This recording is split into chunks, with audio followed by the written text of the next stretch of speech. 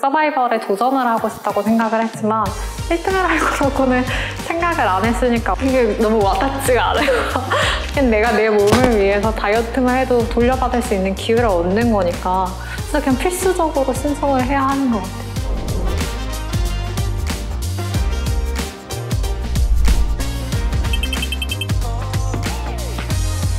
무리하게 뺐다고 생각했을 때는 후폭풍이 좀 셌던 것 같거든요.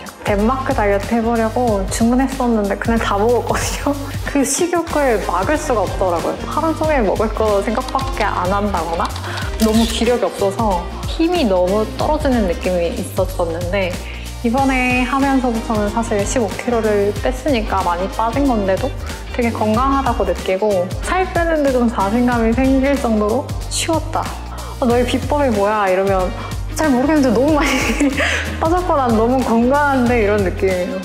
되게 많은 사람들이 고민하고 있는 부분을 되게 좋은 방법을 알려주면서 해결해 주는 게 진짜 좋은 것 같아요. 살이 쪘을 때는 연애를 해도 남자친구랑 다 옷을 사러 가는 데이트는 못했어요. 내 바지 사이즈를 알려주는 게 진짜 너무 싫어서 근데 요새 당당하게 하는 게 일단 자신감이 다른 것 같고 살아가는 방법에서 되게 큰 것들이 많이 바뀌는 것 같거든요. 지속할 수 있는 다이어트를 하게 해주는 것 같고 진짜 쉬운 다이어트니까 고민하지 말고 한번 해보는 것도 좋을 것 같아요. 되게 많은 것들을 바꿀 수 있는 계기가 되는 것 같은데 그리고 평생 가져갈 수 있는 것들을 알려주니까 진짜 고민하지 말고 한번 시도해보는 게 진짜 좋은 것 같아요.